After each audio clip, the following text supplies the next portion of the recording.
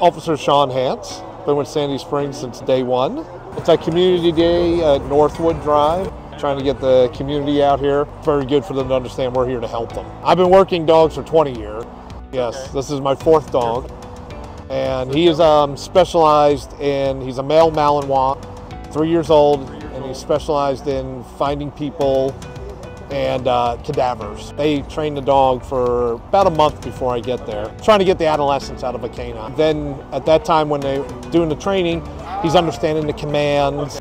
For two months we go training, two to three months. Uh, depends on the academy that we go to. And it's just the dogs learning us. We're learning the dog's behavior. And some of the lessons are getting the dog to come back to you. Because some dogs want to run.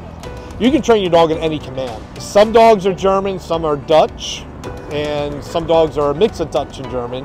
I can show you the inside of the car if you want to see the inside. Okay. This is the inside of the police canine truck. And the way these trucks are built is that, see I leave my leash right here at the door so I'm ready to go. I'll show you here. This is our heat alarm. Because people worry about these dogs during the summer. We've had several dogs and other agencies have had problems with their system.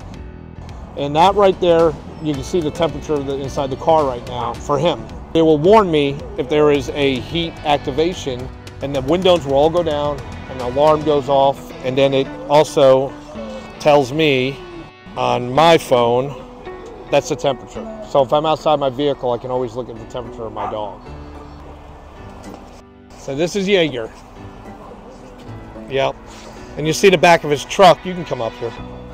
See the back? He has the whole back of the vehicle. Oh yeah, he loves kissing. Yep. He's a good boy. Oh yeah. Yeah. You good boy? Precious, precious. Yeah. Candace is missing out. Good boy. I know. I know. He is.